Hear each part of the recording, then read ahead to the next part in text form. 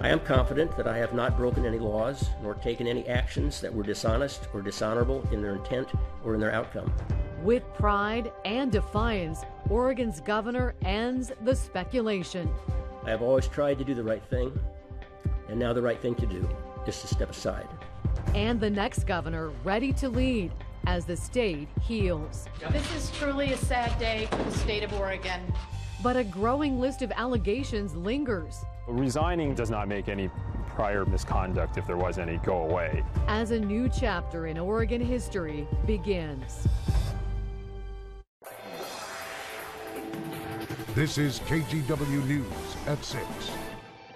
One thing I hope people know about me is that I love this state and its people, its rivers, its mountains, and its landscapes with every fiber of my being. It is because of that love that I tender my resignation as governor effective at 10 a.m. on February 18, 2015. It's a historic day for Oregon as John Kitzhaber becomes only the fifth governor in the state to resign and the first to step down because of scandal. It's also historic for his successor.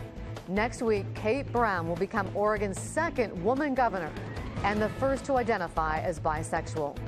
Good evening, I'm Laurel Porter. Tracy Barry and Joe Donlon are live in Salem, where it's been a painful day for the state of Oregon. Joe and Tracy.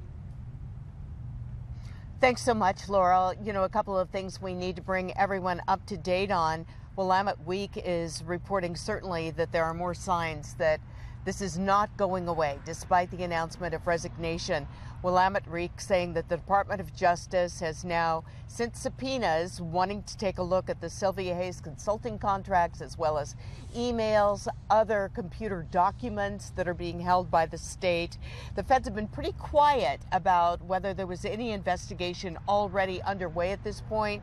This is our first confirmation that the federal criminal investigation continues as well as a criminal investigation here at the state level. Well, we there was a lot of talk about whether there may have been some negotiations regarding Governor Kitzhaber's exit. We know now that, as you said, there won't be any, if uh, many, changes as to what happens moving forward. But it was interesting that that announcement came about an hour after the governor announced himself that he was going to step aside after a week of mounting pressure. Political insiders anticipated this happening today, and a little after noon today, it in fact did. The governor saying he will step down. Let's bring in Kyle Iboshi now. He's been at the Capitol all day for us. Kyle, an interesting and somber day here for many. Well, today's decision ends a wild week in which the governor initially told staffers he was going to resign, then appears to have changed his mind. He avoided reporters as best he could. Many of them staked out his home and his office before finally releasing an audio recording today in which he said he's stepping down. A stunning fall from grace, just one month after John Kitzhaber was sworn in for a historic fourth term as Oregon governor, he stepped down. As reporters gathered inside his Salem office, the 67-year-old avoided the cameras by releasing an audio recording. I am announcing today that I will resign as governor of the state of Oregon. Kitzhaber faced mounting pressure to leave office as a result of a public corruption scandal involving his fiancée, Cylvia Hayes. In his statement, Kitzhaber denied any wrongdoing, but admitted the constant barrage of headlines has become a distraction. I understand that I have become a liability to the very institutions and policies to which I have dedicated my career and indeed my entire adult life. Kitzhaber will officially step down at 10 a.m. on February 18th. He'll be replaced by Oregon Secretary of State Kate Brown. This is truly a sad day for the state of Oregon. But I am confident that legislators will come together to move Oregon forward. I know you all have a lot of questions, and I will begin to answer those questions as soon as possible. As you can imagine, uh, between now and Wednesday, we have a lot of work to be done, and that's what I'm going to go back and do. Oregon's Attorney General said this resignation will not impact the ongoing criminal investigation into Kitzhaber or his fiancee, Cylvia Hayes. I am confident that I have not broken any laws nor taken any actions that were dishonest or dishonorable in their intent or in their outcome. After 37 years as a public official, this scandal has taken down one of Oregon's most enduring politicians. John Kitzhaber highlighted a lot of his accomplishments in that audio recording today, but he also strongly blamed the media. He doesn't feel like he's being treated fairly. And also the political allies he feels have deserted him. Mm-hmm. Kyle, thanks. Well, we've heard uh, from a lot of those, you know, mm-hmm. former allies today, as well as other lawmakers and state officials. And I think the general consensus, when you look at all of their statements, is that they feel Governor Kitzhaber did the right thing by stepping down for the state. It was too distracting right. at this point. If you wonder how painful this has been, though, for friends of John Kitzhaber, Exhibit A would be Peter Courtney, the Agreed. Senate president. And that was certainly evident today in an interview with KGW. Chris Willis, the only reporter to speak with him today, and this is an interview you don't want to miss. Chris? Well, for the key players involved in this resignation, it has been an emotional week. Let's take you back. On Tuesday, Senate President Peter Courtney and Speaker Tina Kotek met privately with the governor. Behind closed doors, the governor told them he was going to resign. Then Wednesday, he changed his mind and said he wasn't going anywhere. Thursday, the three of them met again. Only this time, Kotek and Courtney told the governor he's got to go. And then Friday, today, the resignation. I sat down, as you mentioned, with Peter Courtney today, and he was clearly emotional. I asked him if he thought the governor did the right thing by resigning, and he said yes, he did, but he didn't like the question. Listen. I, I, struggle with that question because I don't want to put him down by saying yes, and that's what worries me. Because that question sort of suggests yes, he did what was best for his state because he wasn't a good person, and that's what I don't like about that question. So that's where you're getting this this hesitancy in me. And I don't think you probably expected an answer like that at all, because that question's asked all the time. And, and, and I noticed certain political figures saying he needs to resign for the better of the state. And I'm just going to tell you about that. You know, uh, he's done good by this state for a lot, for 36 to 40 years. So let's not that one moment here today define him. That is that is totally not fair. That is not fair. That is not fair, and I will argue that vehemently clearly mixed emotions and a rough week for the Senate president. You know, I also asked Courtney why he thought the governor resigned today, but it won't take effect until next week. He told me that's the same plan the governor told him about Tuesday when he was originally going to resign three days ago. Now back to you. Interesting interview for sure. Chris Willis, thank you live for us. And as we continue our coverage here now, we want to bring you up to date on the very latest regarding all of the investigations, and there have been a number of late developments today. That's right. Pat Dooris is in the newsroom with the legal troubles that still haunt the governor. Pat. Well, Joe and Tracy, they certainly do not go away. If anything, this resignation announcement today forced federal prosecutors to come out into the open. Willamette Week reporting that they've served wide ranging subpoenas on the governor's office, 11 agencies, and 15 people, including Kitzhaber and Hayes. Willamette Week reports that federal subpoenas target the private consulting contracts that Hayes landed while a policy advisor and First Lady to Governor John Kitzhaber.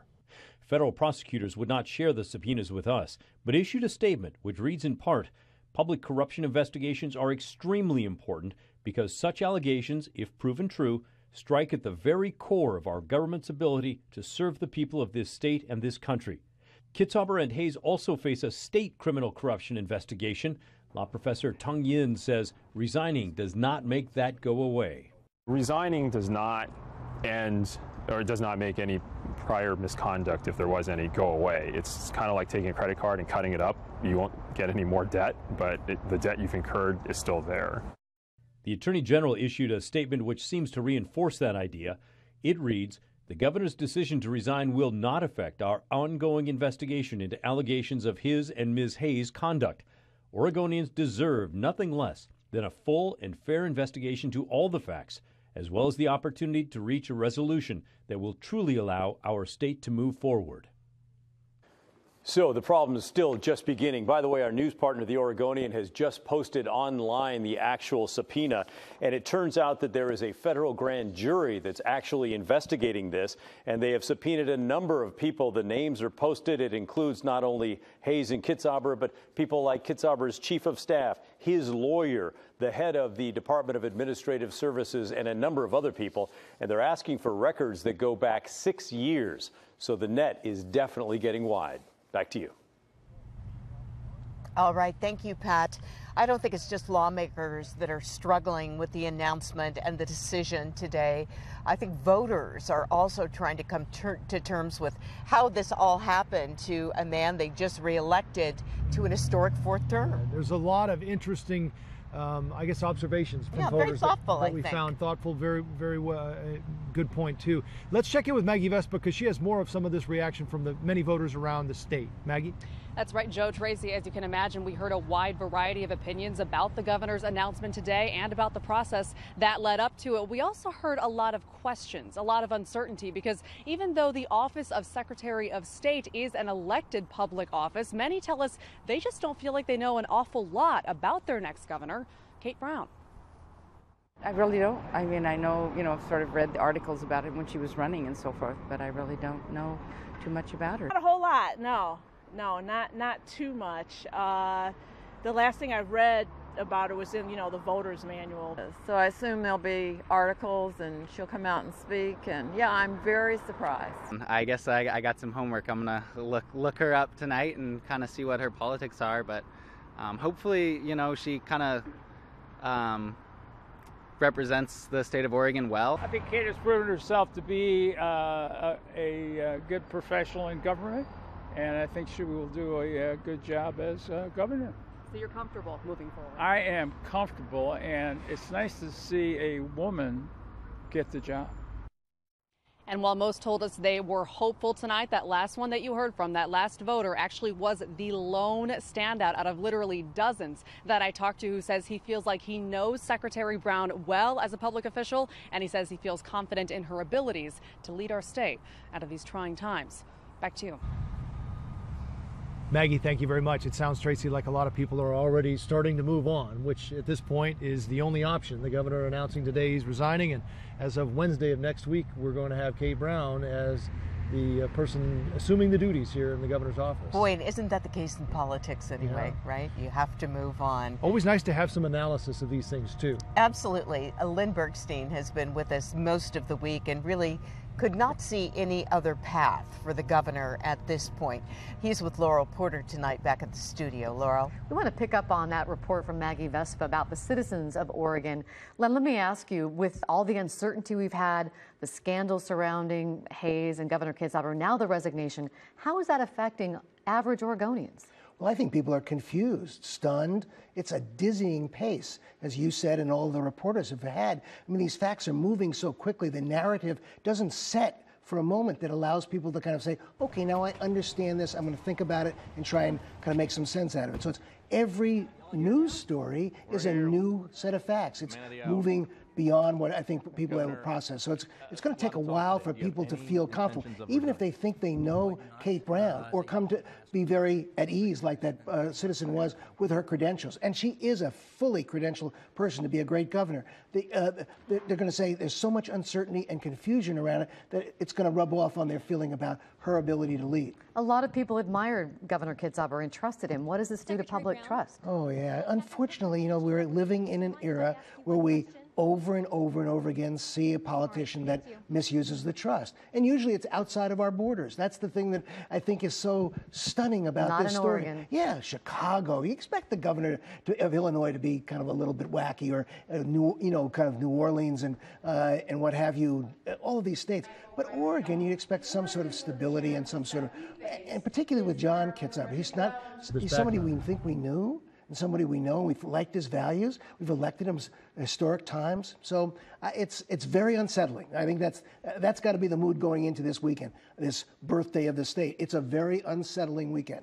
And on the legal wrangling that's going on that Pat Dooris was talking about now with the FBI, or I guess it's the federal prosecutors issuing subpoenas, does that take it up a notch for Oh. Governor Kitzhaber and oh Hayes? yeah, the stakes go up dramatically. This is, you know, it's no longer that he's the victim of political allies or the victim of some news reporter that's kind of got a bad story. This is this is very serious stuff. And talking about Kate Brown, we've heard national headlines. The nightly news reporter ended her piece saying that Kate Brown is the first openly bisexual governor, but you think she should be recognized for much more than that. Well, first of all, I know that there would be people who uh, who are supportive of civil rights in Oregon who would celebrate the fact that that's where she is or what she believes in. I happen to think she's the first, she's the second openly woman governor. That's what we ought to be thinking about. Oregon should be proud and celebrate the fact that a, a fully qualified political person is going to take the reins of government as our, our governor